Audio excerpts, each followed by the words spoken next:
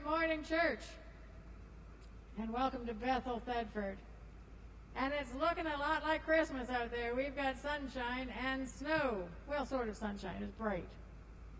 But down along the uh, the lake, the sky is really gray. So I think we're going to end up with uh, more snow. So, and I think everybody's been uh, praying for snow. I have no idea why. Uh, when you pray for snow, be specific. You want it on the yards. You don't want it on the road. Amen is right, because who wants to shovel that? We don't want it on the sidewalks. We don't want it in the parking lot.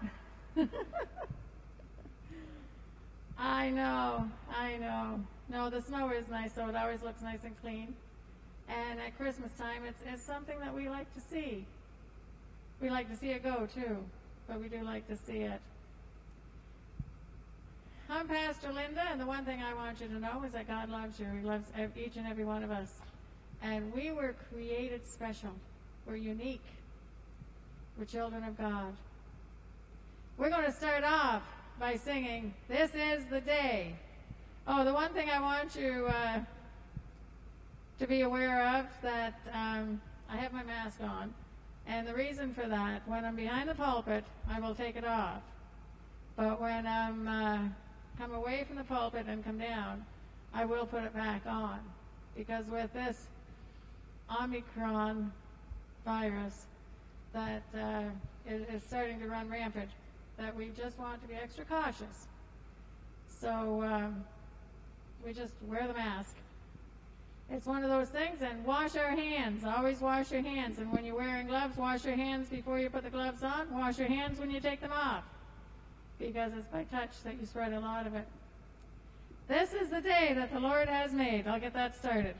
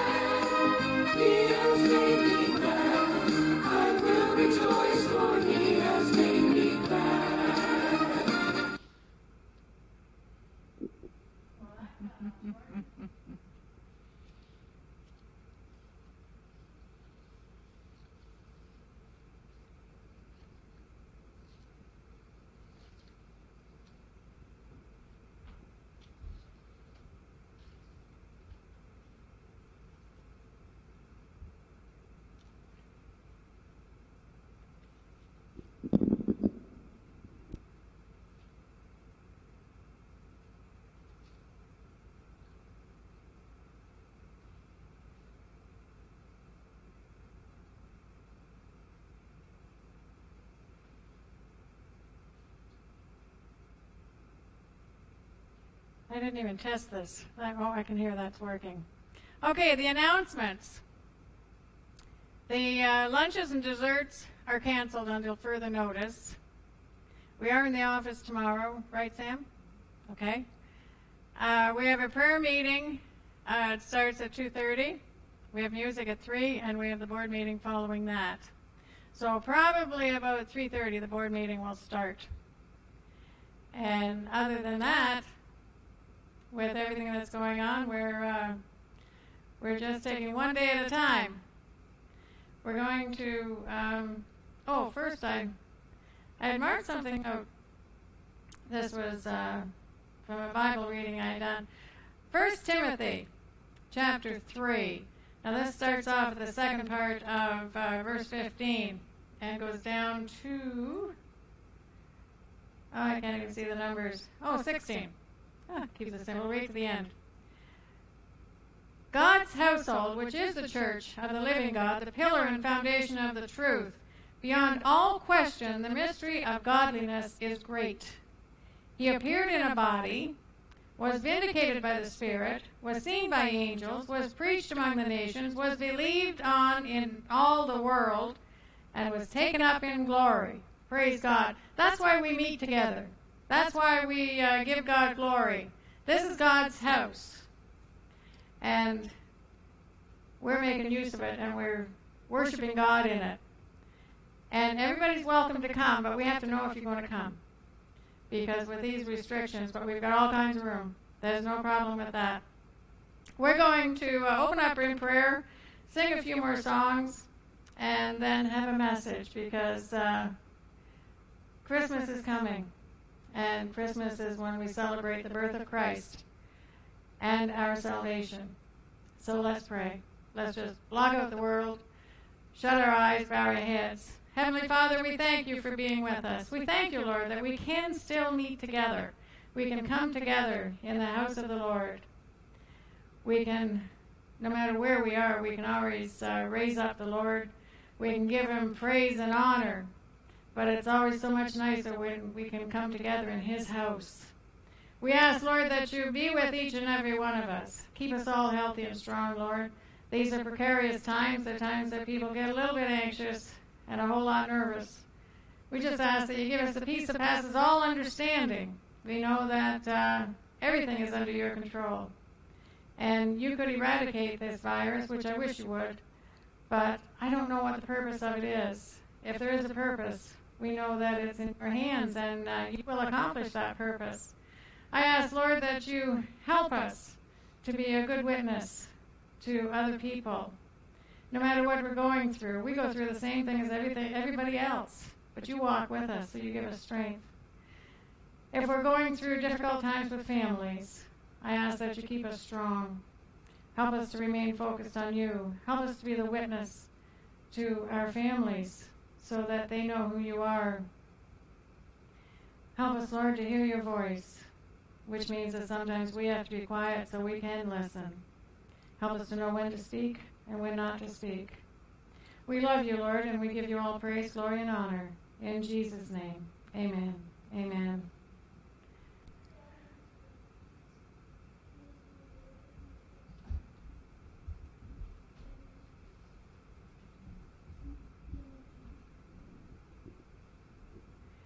Okay, the next song we're going to sing is By Faith. And I shut this uh, microphone off because it. Uh, it just gets so super, super loud when I put it behind the mask. So I'm shutting it off.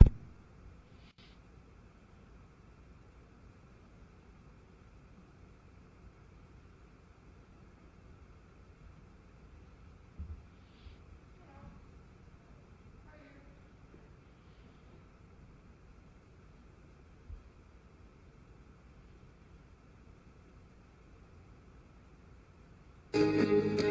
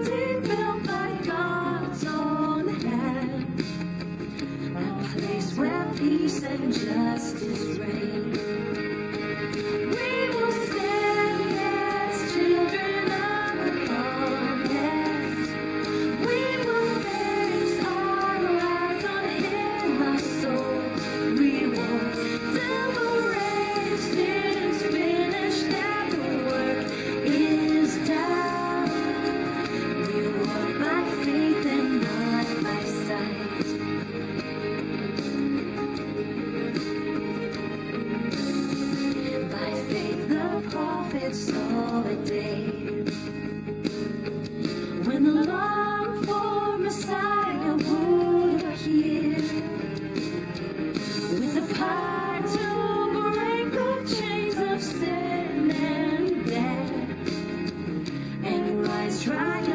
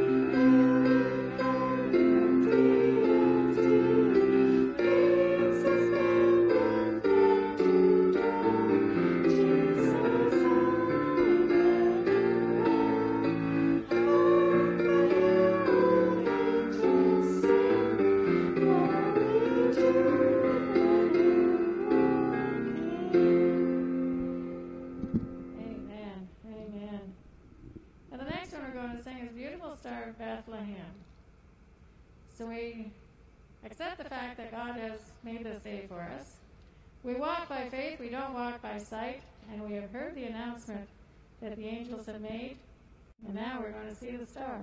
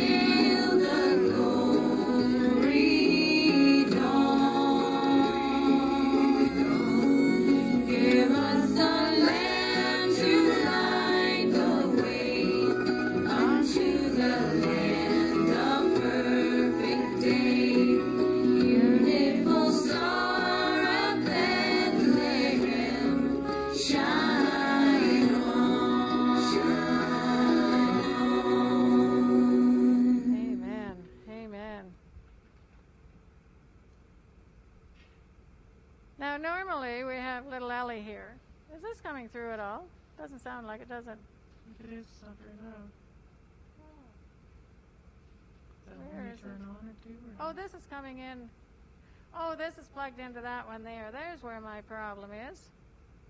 Okay. This is on the digital. It's going in through the Behringer.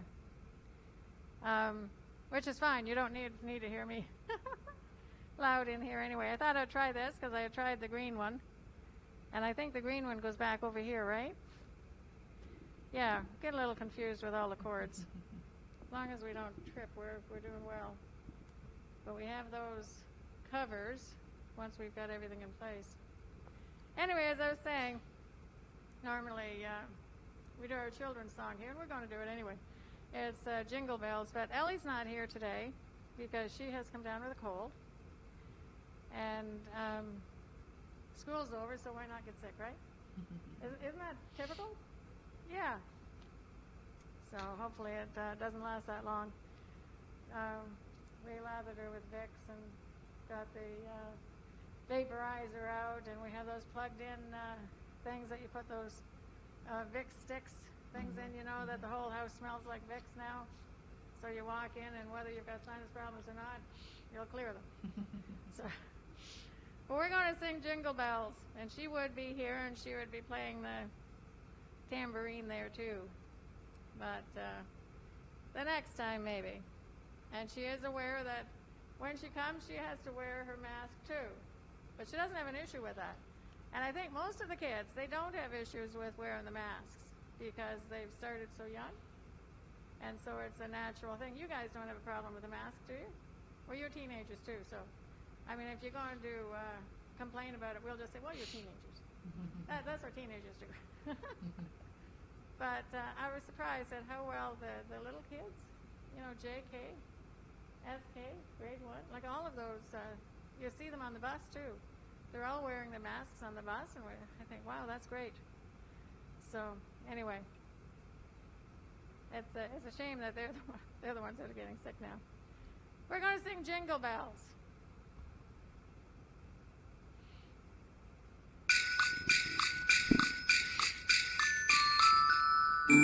Jingle bells, jingle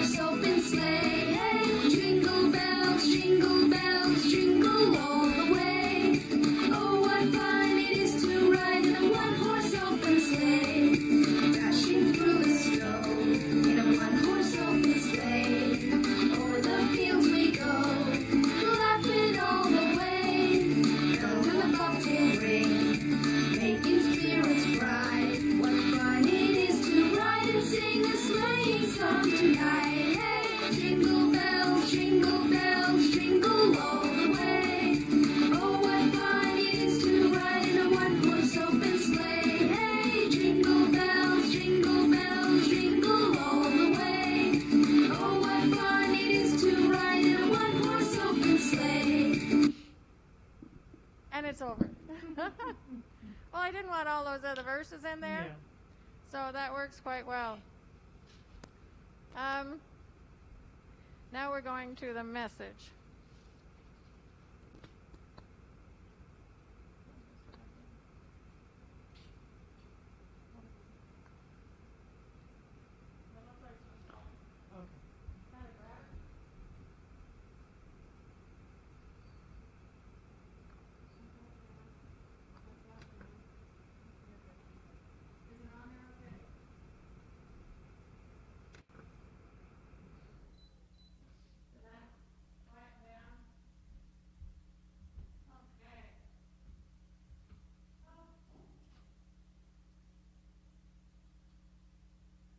Okay. There we go. I gotta tell you, when you're trying to uh, sing and you're wearing these things, it gets hard. It does, doesn't it? And I had um, been doing that over at the manor prior to coming here, so it makes it a very long, very long time to be singing with the the mask on. But it, it's what you have to do. It's just what you have to do. I was delighted to come here and find the, oh my goodness, there's two great big cookies here. Isn't that lovely? Does that mean one's for me and one's for Ron? Yes? Do you think Ron will agree with that? Ron's at home looking after Ellie, so maybe I'll let him have the, uh, the other. What kind are they? Sugar cookies? Oh, sure. What's better for a diabetic? Sugar cookies. Oh, they're not? Okay, they've got those little, uh, um, yeah, and what kind, that's chocolate icing? Well, you know he loves his, his cookies.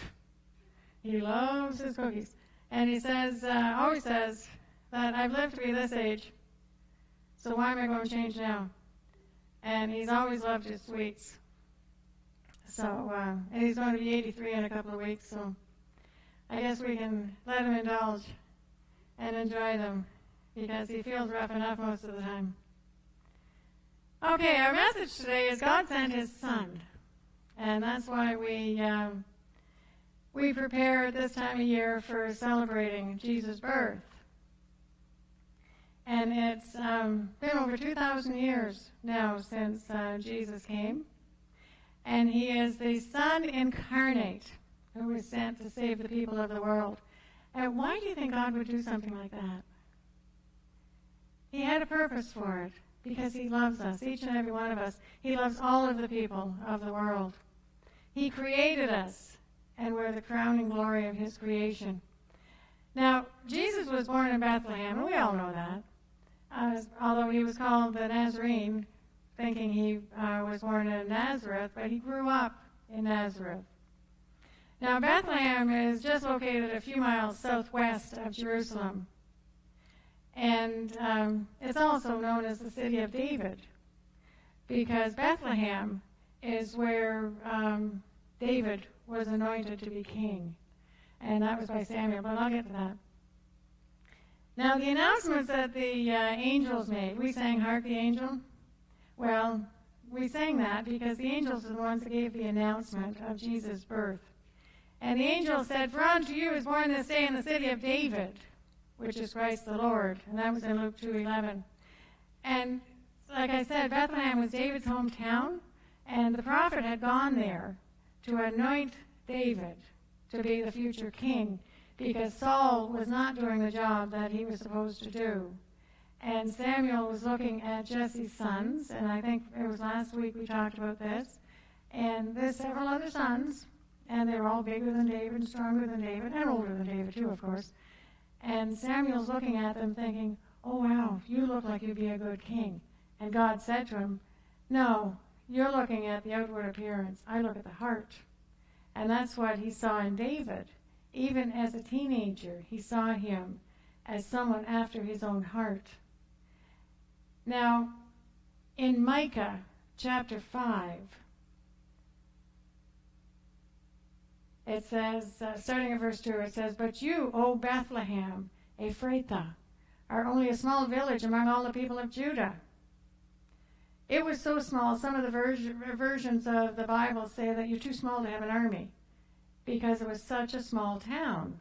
And out of that small town was going to come the Savior of the world. Now, at that time, back when Jesus was born, the population was about 300 people. Now, how many people live in Thedford? I think the sign says 800. It still says 800, doesn't it? I don't know why it doesn't go up because I know there's babies born. So when a baby is born, does somebody move out? We like it shouldn't stay the same. Anyway, um, so it's less than half the size of Thedford. That's a small town. It's called a borough or a burg or whatever the case may be. Now today, Bethlehem is a city. And it's not even in Israel anymore. It's in Palestine. So changes, eh? And the population is over 28,000 people now. Bethlehem was first mentioned in the book of Genesis. Do you remember hearing about the, the town of Bethlehem in Genesis? Not really, right? But when I tell you when you heard it, you'll remember hearing it. In Genesis, Jacob was traveling back home, and he had his family with him. And the mother of Benjamin, also the mother of Joseph, was Rachel, and she died during childbirth for Benjamin. And so she was buried in Bethlehem. Jacob had bought uh, the property for her tomb and is near the entrance to the city of Bethlehem. Now, also in the book of Ruth, um, Ruth and Boaz, their setting is in Bethlehem. So Bethlehem has been quite famous all the way through the Bible. In the book of Ruth, we learn that uh, she and Boaz were the great grandparents of King David. And the word Bethlehem, now I had said, mentioned this before. Do you remember what Bethlehem means? The house of what? House of bread. Bethel is the house of God. Yeah. You had part of it right. yeah. No, the house of bread. Now, what does Jesus say about bread? He's the bread of life. Absolutely. John 6:35, Jesus says, "I am the bread of life. Whoever comes to me shall not hunger. Whoever believes in me shall never thirst." The bread of life come out of the house of bread. Isn't that cool? Bread is one of life's most common foods. If you're uh, feeling a little peckish, what do you do? I know what I do. I go and grab a piece of bread, and I'll usually put butter on it, and peanut butter, and jam or honey. you gotta put those layers on there to to make it work, which is why I have the weight problem. but at any rate, bread is a staple, and it always has been. It's something that people have eaten, maybe not the same kind as we do, because ours is made fluffy. Could explain why we get fluffy. but in a lot of cases, it's the uh, unleavened bread that uh, is eaten, and that's what those um, things we use for wraps. Um, that's unleavened because it hasn't hasn't raised. It doesn't have the the uh, bubbles, the air bubbles in there. Anyway, that's totally contrary to what uh, bread is a staple. It's a common food for common people and for all people. Jesus was born in Bethlehem, and that was to identify him with a common man because Bethlehem is a small town, and there weren't any wealthy people there. There's no palaces there. Jesus wasn't born into wealth or notoriety. There was no real famous people there. And he was not born in a major city. God wanted his son available to all, and his birth was announced to the shepherds. And as I said before, it was announced by the angels. The shepherds were common people, hard-working people that a lot of people didn't like to associate with. Jesus wasn't born to the religious elite. He wasn't born a Pharisee or a Sadducee or any of those other ones. And he wasn't a politician. His cradle was a manger. Now, the one thing that, um, that I discovered when I was uh, researching did you know what they used the manger for, aside from feeding the animals? Because the manger was a specific uh, shape and size, not, not like the wooden ones that uh, we use for doing nativity sets. Uh, they're usually stone. And with when a sheep is born and is going to be used for the sacrifices, that they're wrapped in cloths to protect them and they're set into the manger. So that, because when they're tiny, their their little skinny legs are going all over the place and they can get broken easily. And that's why to be a sacrificial lamb, they had to be without flaw. While they would wrap them in cloths and lay them in there for a certain period of time until the body can uh, relax, I guess. I'm not sure what the, I didn't keep on reading it. I was just uh, intrigued at the fact that it's so similar to what they did with Jesus. And he was the Lamb of God, right? He was a baby, but he was the Lamb of God. And that's what they did with, uh, with the sheep. So it's some of that useless in- information that you get, you know. Although I didn't think it was useless at the time. Okay. Jesus came for us. He came not for the ones who were aware of their needs. Christ was born in the house of bread, giving us confidence that God does want us to be his children, no matter how insignificant we may seem to ourselves to be or to those around us. Do you ever feel like you're just invisible? Well, you're not invisible to God. I know that feeling because I get that every so often too, and I think, I am here. Now, Christ is born in Bethlehem to satisfy our spiritual hunger. Jesus said, I am the bread of life. Whoever comes to me will never be hungry again, and whoever believes in me will never be thirsty. Bread is a good comparison to our Lord because he satisfies, he gratifies, he strengthens us spiritually, just as bread does physically. Christ was born in Bethlehem to testify that no matter who we are, it's up to each one of us to choose him. The Bible says, and though we are many, we all eat from one loaf of bread, showing that we are one body. That's 1 Corinthians 10. Now, that one loaf of bread, we know who that represents. It represents Jesus Christ.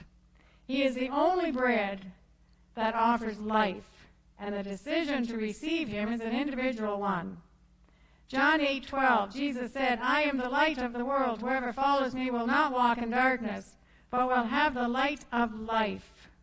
And when Jesus talked about being the light of the world, he was referring to life, meaning eternal life. And that uh, we do not reject God's word regarding Jesus Christ, or as the scriptures say, we will not walk in spiritual darkness. John 1, starting at verse 1. Verse 1 of John chapter 1 is something that we should all know by now, right? In the beginning was the Word, and the Word was with God, and the Word was God. Yes. He was with God in the beginning, and through him all things were made. Without him nothing was made that has been made. In him was life, and that life was the light of all mankind. The light shines in the darkness, and the darkness has not overcome it. Things can get pretty terrible sometimes, but the light still shines. God is still in control. The light shines in the darkness, and the darkness has not overcome it. The Word became flesh and made his dwelling among us. We have seen his glory, the glory of the one and only Son, who came from the Father, full of grace and truth. Now, as you go through Scripture, you can find numerous verses that verify that Jesus, the Son of God, took on human flesh. And that means incarnate. The word incarnation means the act of being made flesh. Surprising, isn't it? But the purpose of incarnation was not to eat or taste food, even though we talk about bread, or to feel joy or sorrow. The Son of God came in the flesh in order to be the Savior of all mankind. He had to be born under the law. Galatians 4 4 says, When the right time came, God sent his Son, born of a woman, subject to the law. We've all failed to fulfill God's law. Christ came in the flesh under the law to fulfill the law on our behalf. Matthew 5:17 says, "I did not come to abolish the law of Moses or the writings of the prophets. No, I came to accomplish their purpose." Remember people were asking him, "Does this mean we don't have to obey the law? We don't have to obey the 10 commandments, which they call Moses' law?" And he said, "No, I didn't come to remove that law. I came to fulfill it." And that's what he's done. Galatians 4 5 says, God sent him to buy freedom for us who were slaves to the law, so that we could, he could adopt us as his very own children. Now, next, it was necessary for the Savior to shed his blood for the forgiveness of sins. Hebrews 9, verse 22 says, According to the law of Moses, nearly everything was purified with blood, for without the shedding of blood there was no forgiveness. Remember, in the days of the temple, they were always sacrificing animals for the forgiveness of sin. We don't do that anymore. Well, Gentiles never did do it, but the Jewish people don't have to do it either. The temple isn't there anymore, but the perfect Lamb of God has been sacrificed for each of us. But first, that lamb had to be born. So naturally, the blood sacrifice requires the body of flesh and blood. And this was God's plan for the incarnation. Hebrews 10:5 says when Christ came to, into the world, he said, "Sacrifice and offering under the old covenant you did not desire, but a body you prepared for me." That means that without the incarnation, Christ could not really die. The cross would have been meaningless. So Jesus had to come in flesh. He had to be human so that he could die, so that we could live. Philippians 2, starting at verse 5, says, You must have the same attitude that Christ Jesus had. Though he was God, he did not think of equality with God as something to cling to. Instead, he gave up his divine privileges. He took the humble position of a slave and was born as a human being. When he appeared in human form, he humbled himself in obedience to God.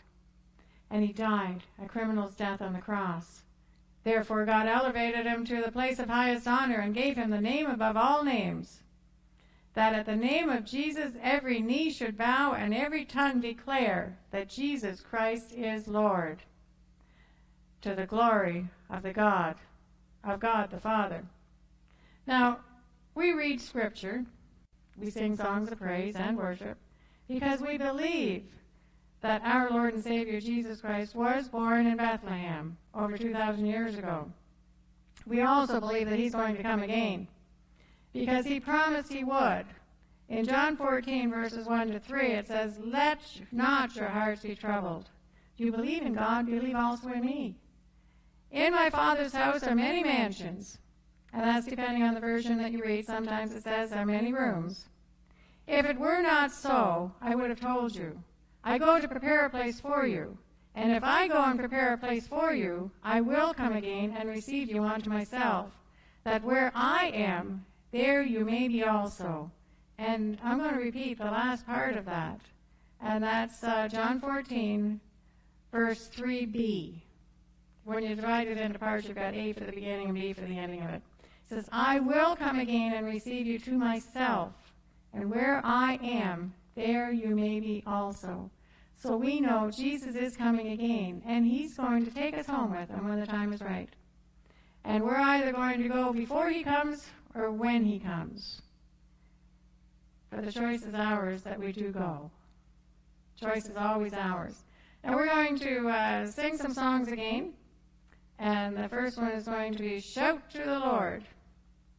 And hopefully the um, microphone system is going to work the way it should this time. Because last week I didn't email them out because there was no sound. And Stephanie had sent a note saying, I can't hear you. And I'm, I'm not exactly sure. Oh, I know what happened. We didn't plug the Behringers in, but hopefully the other microphones pick up when I'm talking on this one. So, anyway, Shout to the.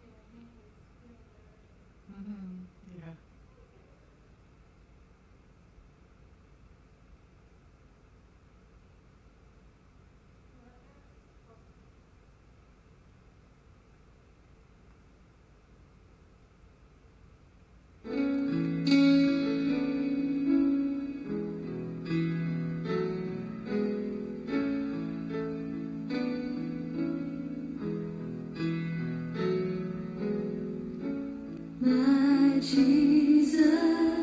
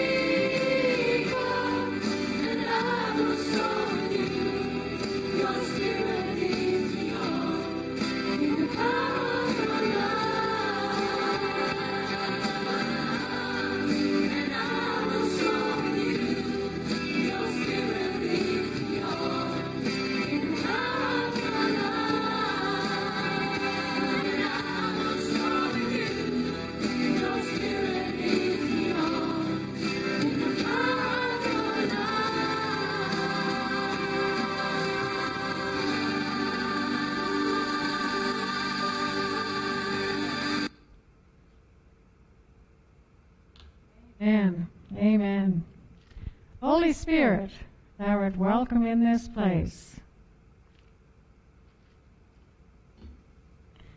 Now I moved the um, the camera, it's not sitting beside you there anymore. I thought it might be safe here, but then a couple times I just about tripped over the leg, so I may have to turn it around a little bit or put something in front of it or something. I get a little klutzy sometimes. Well, once in a while. So I'm not even on it there. I hear this mic cutting out on me. Okay, Holy Spirit, welcome in this place.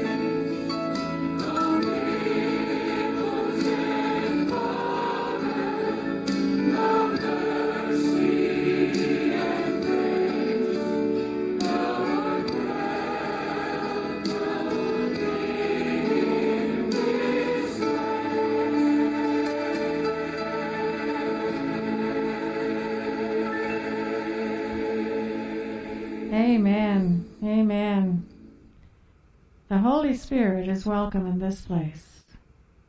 And that's what it's talking about. The Holy Spirit is welcome in this place, in the building, but especially in our hearts and our spirits.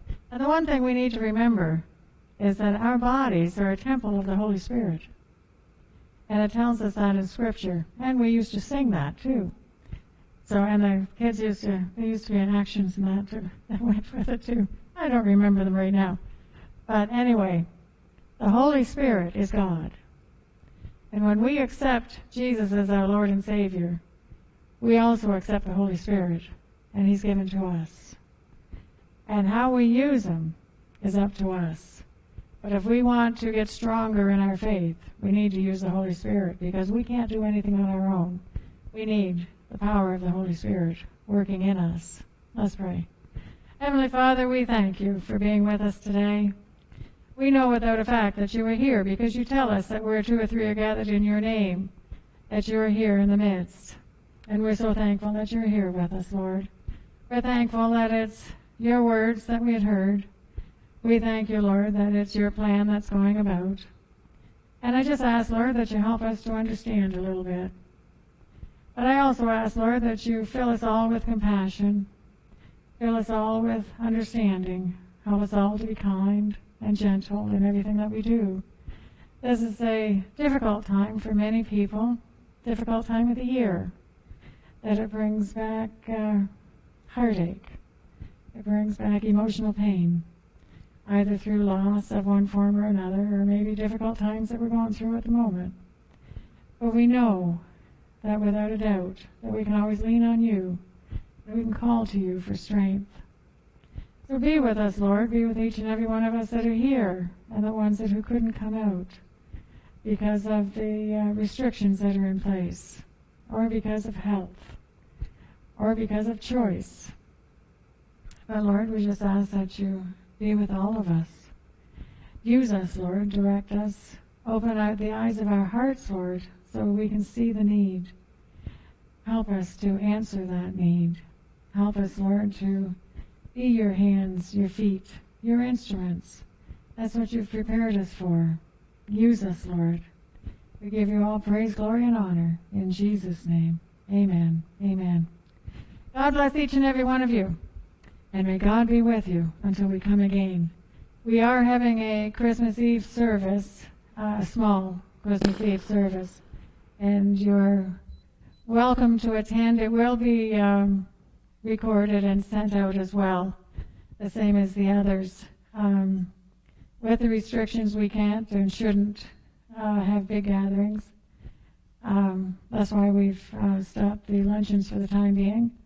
But if there is a need, let us know, and we'll try to uh, try to meet it between the, the group that we are. We uh, we try to reach out and help where we can. God bless you.